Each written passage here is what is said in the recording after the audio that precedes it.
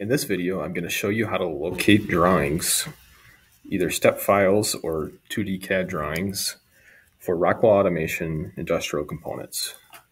Start at rockwellautomation.com and locate the product catalog in the bottom right corner.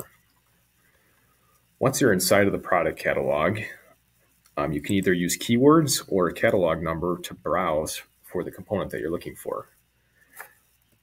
If you look under keywords, it'll give you a product configurator that helps you select the right catalog for your application. Otherwise, if you know what you want already, you can just enter in that catalog, hit validate, and then hit accept. Once you've found a valid catalog, um, you'll have documentation as well as drawings. Select the drawing tab, and here you'll find the 2D and 3D CAD models of the industrial component that you're looking for. Another way to locate a drawing is using ProposalWorks.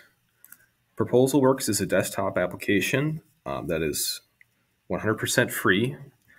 It's going to help you select components for your control system. Um, it'll give you pricing and help you conveniently develop an RFQ. It even has some uh, useful design tools in here to help you out. So similar to the online product catalog, you can browse and find the component that you're looking for, um, enter it into your equipment list. And then once you have one in your equipment list, go to documents.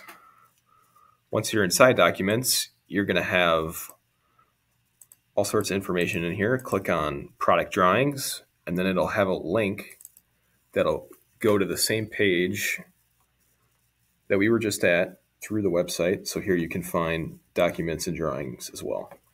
So there's two quick ways to find CAD models for Rockwell Automation industrial components. Thanks.